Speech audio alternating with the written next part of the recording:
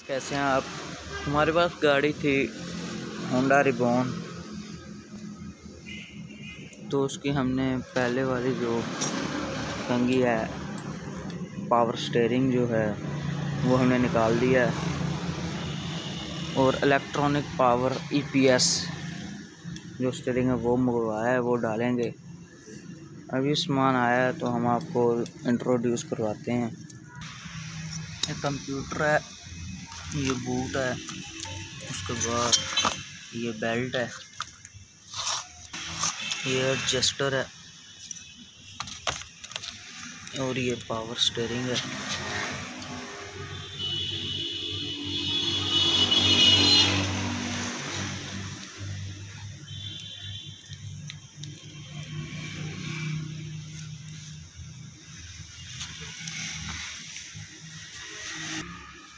तो ये फिटिंग हम होंडा रिबोन में करेंगे।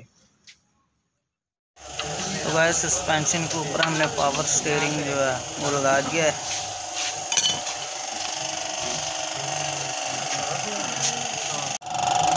तो वह सस्पेंशन की फिटिंग करने लगे हैं।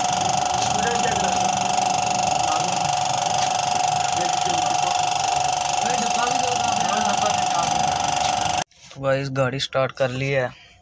मगर अभी फिटिंग बाकी है तो आपको इलेक्ट्रॉनिक स्टेयरिंग दिखाते हैं।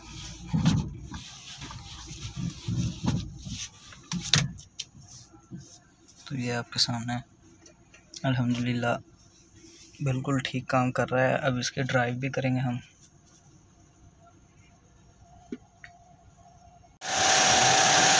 गाइस कैसे हैं आप? होंडा रिबोन को जो पावर स्टेयरिंग था उसे इलेक्ट्रॉनिक पावर हम कर रहे थे। तो ये आपके सामने है।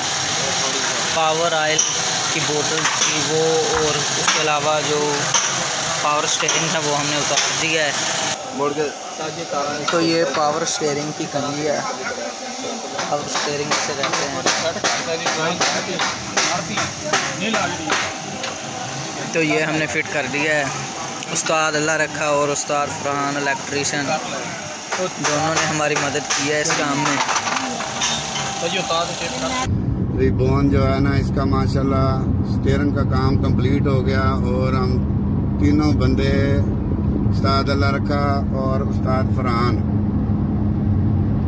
पर हम इसको टेस्ट ड्राइव पे लेके निकले हैं। माशाल्लाह बेहतरीन हो गई गाड़ी स्टेयरिंग ऐसे हो गया जैसे बिल्कुल मलाई की तरह।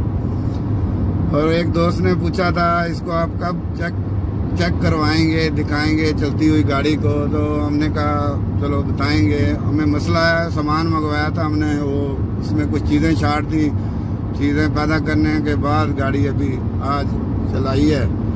बेहतरीन हो गई, माशाल्लाह, पूरी गाड़ी फिट कर ली। अभी हमने 20-30 किलोमीटर चलाई है, फिर बेहतरीन हो गई गाड़ी। तारफ कराना